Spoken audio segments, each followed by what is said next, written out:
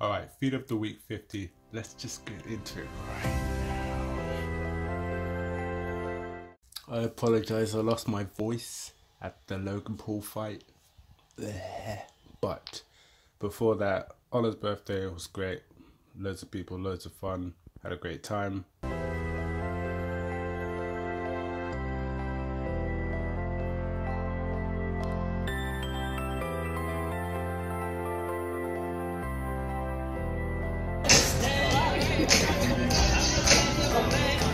What?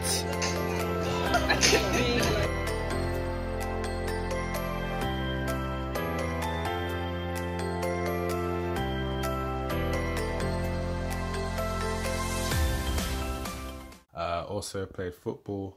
It's been a while, been a couple months, but I'm now getting back into it.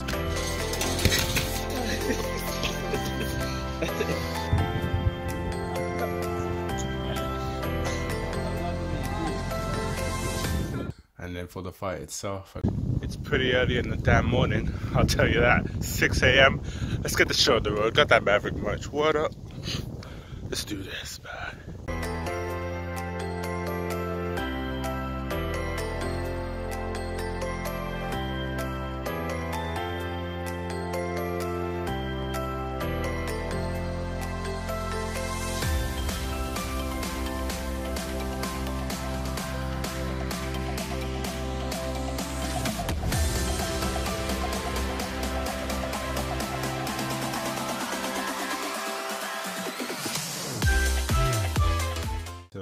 The atmosphere, the moment of things. But upon reflection, the draw makes sense.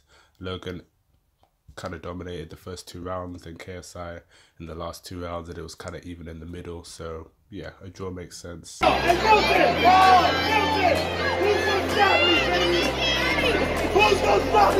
It's not Armani. Also saw a bunch of other people, um, either in passing or quick high fives. Saw Mark Derner, uh, Grady, uh, Dwarf Mamba, some guy from EastEnders, Wes from Love Island, Romel from TJ Bros supporting Jay Swingler. That's it.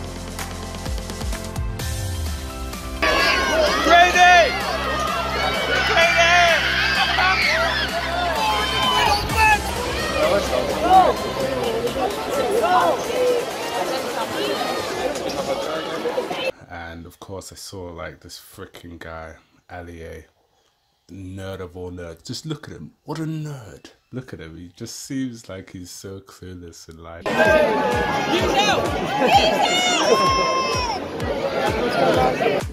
but yeah, it was all great. It was all great. And I'll see you guys in the next vlog.